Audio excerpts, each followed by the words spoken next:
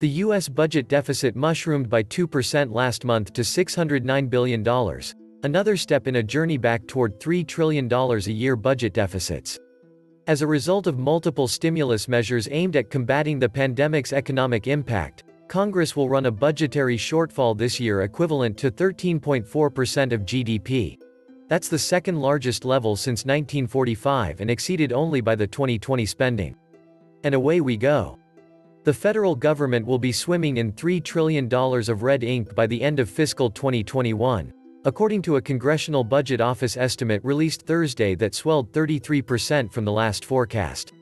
They said that the tax plan would bring in so much money from offshore accounts and increased revenue that the nation's debt will be wiped out in eight years. They said GDP would be 4 to 6%. We're already asking Congress again to raise the debt limit to avoid a shutdown of the government. The budget deficit was $3.27 trillion over the past 12 months. The nation's debt has increased by 6% for the past 12 months. Debt is rising faster than GDP growth. We live in an effed up world where more debt is good, and nobody cares about next year, never mind our kids' future. I would expect nothing less from the Fed. More than $3 trillion deficit. The best economy in the history of economics. The deficit is out of control. Drain the swamp. Welcome back to the Atlantis Report. You are here for your daily dose of the truth, the whole truth, and nothing but the truth.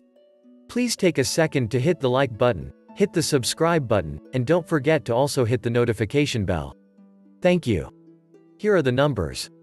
The deficit in 2020 totaled $3.13 trillion and already is at $2.06 trillion through the first eight months of the fiscal year. Total government debt is now $28.3 trillion, of which the public holds $22.2 trillion.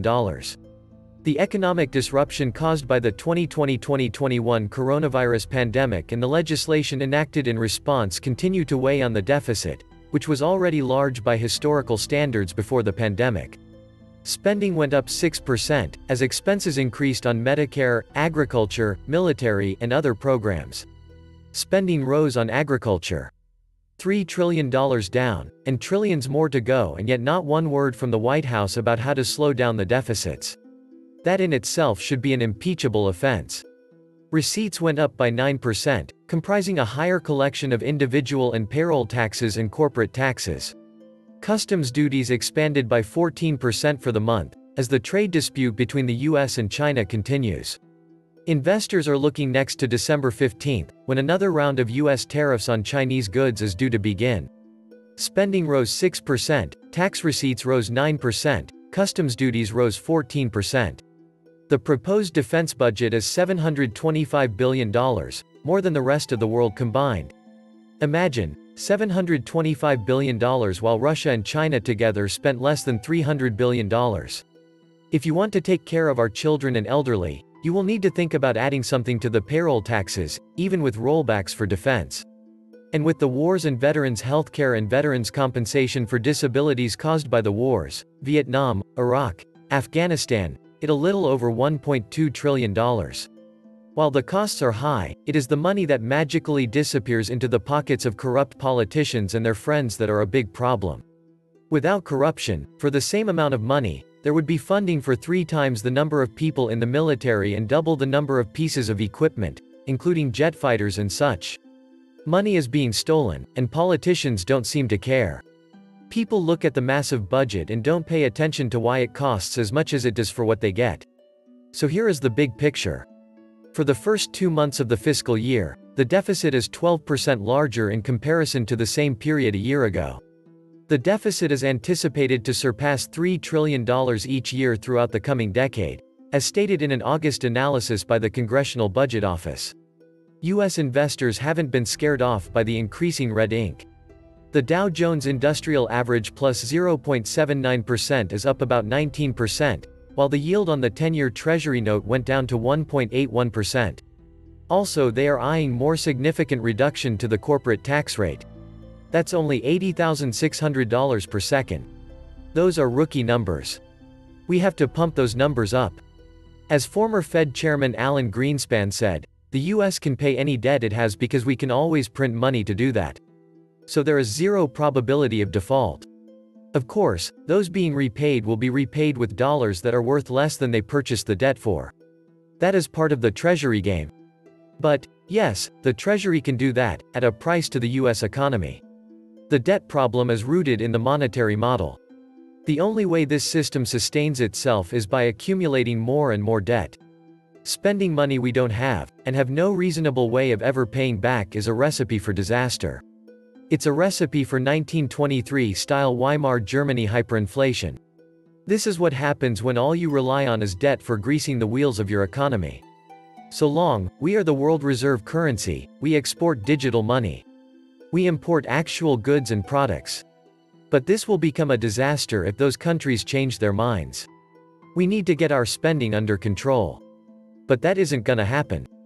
This will continue to happen until the central bank gets shut down. This should not shock anyone. Hell the Fed is pumping 200 billion a night into the repo market, what's the problem? US investors haven't been scared off by the red ink. In fact markets skyrocket on the news because where do you think all that borrowed money could be going anyway other than straight into the ever-soaring market? Fun thing to think about. How many companies propelling the stock market make their whole dime on government spending? Think real nice about it.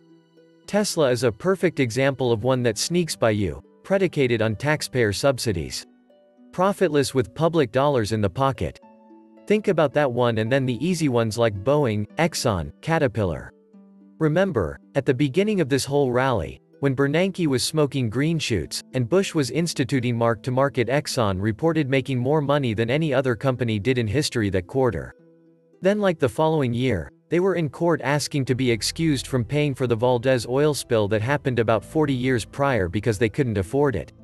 The monthly deficit would have been greater had we not imposed tariffs on Chinese goods. In October, customs duties boosted U.S. revenue by $7.8 billion, up from $5.6 billion a year ago, and represents tariffs U.S. companies paid on imports of Chinese merchandise. In other words, we added a consumption tax since the United States does not produce its own good anymore. Everyone crying for the US made goods better be careful what they wish for. You will end up paying three times more for all your consumables of inferior quality when Americans make them. In America, we have to pay for insanely high labor costs, poor management, outrageous taxes, zoning, and regulations, paid vacations, paid sick time, paid maternity leave, 401 kilo second, pensions, overtime, certifications, high real estate and lease costs, unions, disability, frivolous workplace lawsuits, etc. etc. The globalists already won, the American manufacturing is dead in the water. America only prints 100 billion per day to keep fraud banks working. As long as we keep borrowing, our politicians will keep spending. It is making them look good, so they will do nothing to interfere with the excessive spending that is making them look so good. And at the same time, they are keeping their fingers crossed, hoping the crash will happen during the next person term instead of theirs. And it doesn't really matter what the interest is on our national debt. If it is 2%, we still have to pay 100% of the total back.